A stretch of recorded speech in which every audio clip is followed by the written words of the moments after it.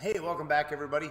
Uh, here we are today. The sermon is entitled Love That Binds. Uh, we're talking about the fourth Advent candle. We've already lit uh, joy, hope, and peace, and now today is the love candle. Love, what a powerful and wonderful word. And that's what we're going to talk about. Now, do you remember uh, Christmas time? We get into movies, you know, your Hallmark season.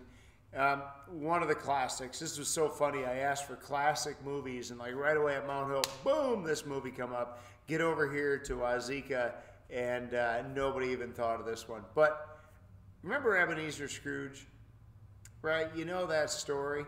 Um, what was one thing that Ebenezer Scrooge had a lot of? Is making bank, right? Ton of money at the time. But what was one thing that he didn't? And in the movie, we realize what he really needed. He didn't have love. He didn't have companionship. He didn't have friends or family. You know, none, none of that stuff was important to him. And then he realized by the end of the movie that that's, that's what really mattered. Now, when you think about uh, Ebenezer Scrooge, to the people on the outside at the beginning of the movie, he was very successful, making a lot of money. And of course, there's several ways uh, to define success, and that's something we're going to be talking about today. Is a little bit different ways of thinking about discuss, uh, success. And Ebenezer Scrooge was successful money wise.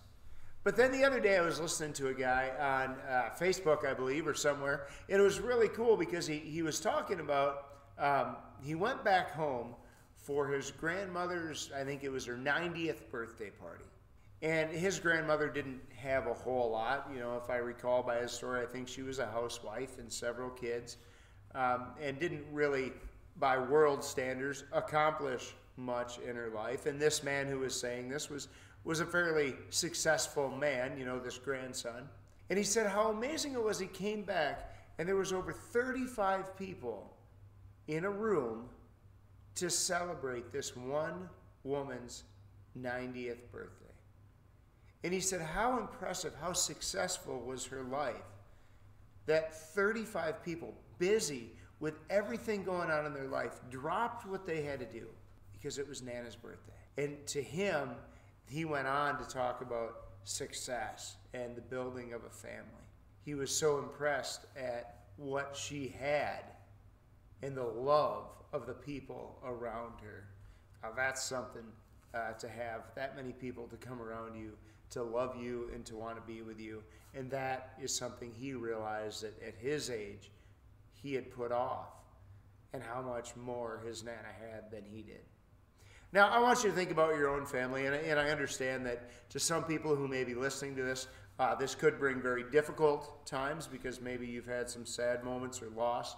Um, but if you think about your own family, think about the people that you spend the most of your time with, especially around as we go into Christmas time and holidays. During Christmas, we go from family to family. Go to the in laws, go to your side, you have it with your immediate family. Maybe you have some friends over, but you spend the majority of the time with the holiday time with your immediate family. And then, of course, maybe you're one of those people that are hosting Christmas at your family, uh, at your house, and you are going to a ton of work. You're, you have uh, oodles and oodles of, of money being spent on food, being spent on presents.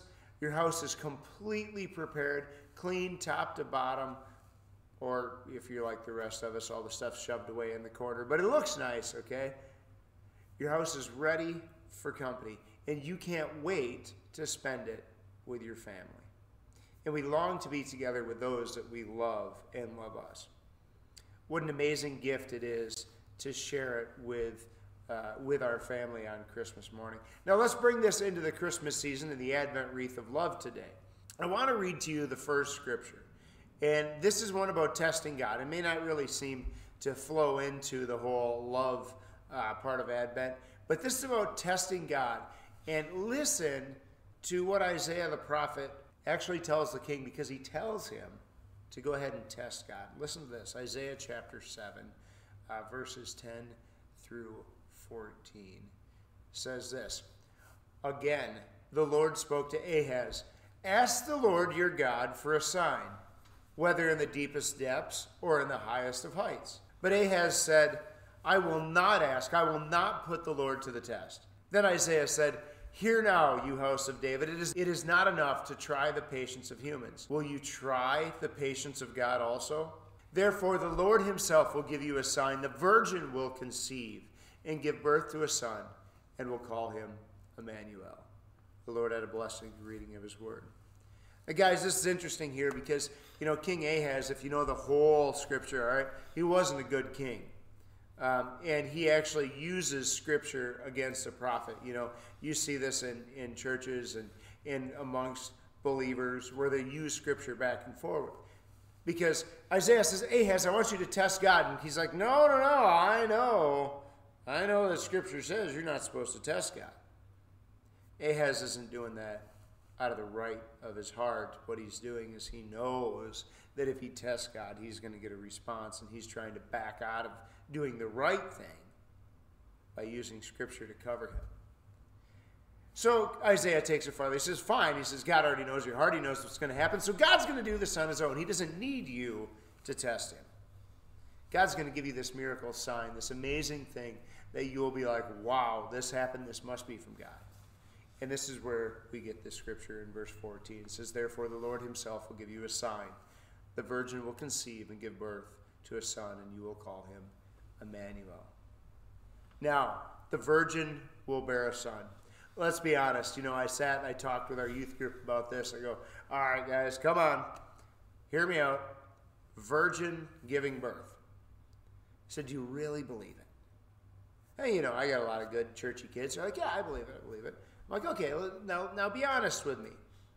And there was a couple kids that, you know, with their open hearts and honesty, did say, yeah, it's, it's hard to believe that. Now, if we heard it today, if you just found out that your teenage niece, teenage girl in school was pregnant, and you're like, no, really, I'm a virgin, we'd be just as skeptical, right? Be just as skeptical. I guarantee you, Mary went through the same skepticism. All right, Joseph. Yep, yep, uh huh. Why would God choose to have a son and allow for that child to be born fatherless, to be born in a virgin birth? Why, why wouldn't the birth be in the normal way?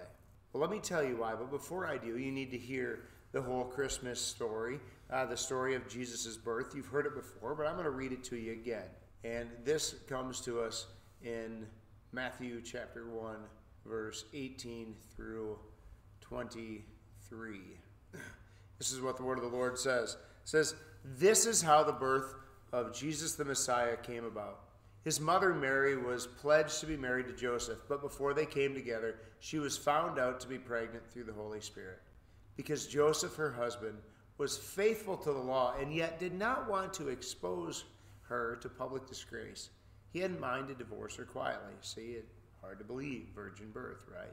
But after he had considered this, an angel of the Lord appeared to him in a dream and said, Joseph, son of David, do not be afraid to take Mary home as your wife, because what is conceived in her is from the Holy Spirit. She will give birth to a son, and you are to give him the name of Jesus, because he will save his people from their sins. All this took place to fulfill what the Lord had said through the prophet. The virgin will conceive and give birth to a son, and they will call him Emmanuel, which means God with us. When Joseph woke up, he did what the angel of the Lord commanded him and took Mary home as his wife. But he did not consummate their marriage until she gave birth to a son, and he gave him the name Jesus. The Lord had a blessing in the reading of his word. Now, we've heard this story before, right? Jesus is born to Mary, he's conceived by the Holy Spirit. But why is this so important? Why is it important that it's a miraculous birth? I mean, we know that it fulfills prophecy, so you could be like, well, it's important because it fulfills prophecy. But, but I think there's more to that.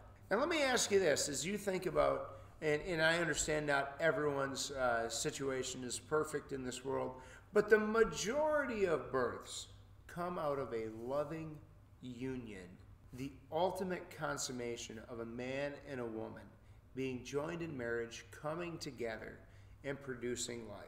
I understand not all of them are that way, but the majority of them are. Now think about this with the Immaculate Conception. with the Holy Spirit conceiving the child in Mary. What does that have to do with love? Well, I just said the ultimate consummation is when man and woman come together and they have a child out of their love for each other. Well, now we have God through the power of the Holy Spirit. Not in any physical way as we understand consummation, but through the power of the Holy Spirit, now has a child and conceives with Mary. So, why did God do this virgin birth? Because it wasn't in the natural way that you and I understand birth, it was through the Holy Spirit. Well, because this way, Jesus is both fully man, born of the mother, born of the Virgin Mary, and both fully God, born of the Holy Spirit. Now, uh, we understand that's very difficult to uh, comprehend, but think about it. Think about your own kids if you have children. And if you don't have children, think about someone that you can see this in their kids. All right?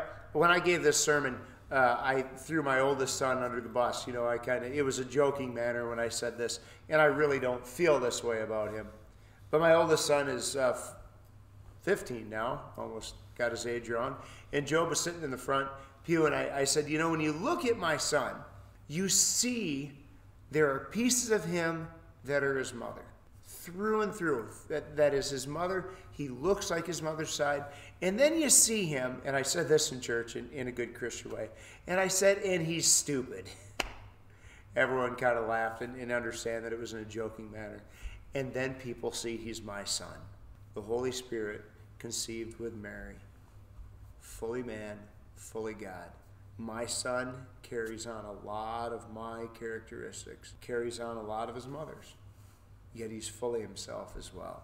God gave us Jesus to be born of a woman, to be a man and live a life like us. And he was given to us as a special gift of love, where God in heaven said, I want to show you my ultimate, my ultimate consummation of my love.